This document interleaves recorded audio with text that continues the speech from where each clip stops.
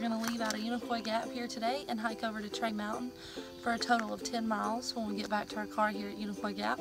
We've done a little bit of this section before, just 5 miles, but today we're going to do a full 10 and we're super excited to do our little section hike on the AT today.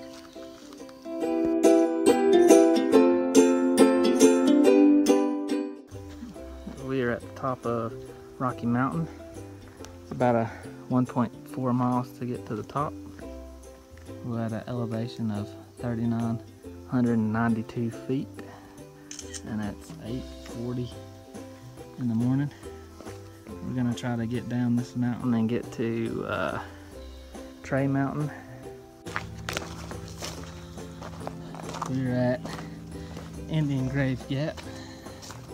There's camp spots down through that way and a nice parking lot. We got about two and a, two and a half miles to get to um, Tray Mountain.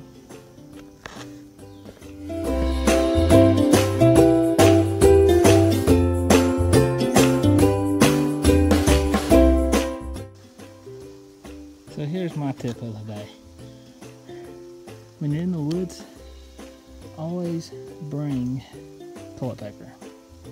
Because when you forget toilet paper, you have to wipe your butt with these leaves right here. And that's not always fun. So, whenever you come out in the woods, bring toilet paper. This is the old cheese factory site. This is, this once was, in the 19th century, this was a dairy farm.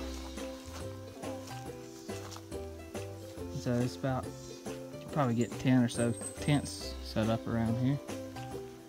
But it's a nice open, open spot. Yeah, it's got water down down here. You just have to walk a little ways to it. It's, it's off the trail. I don't know how many miles.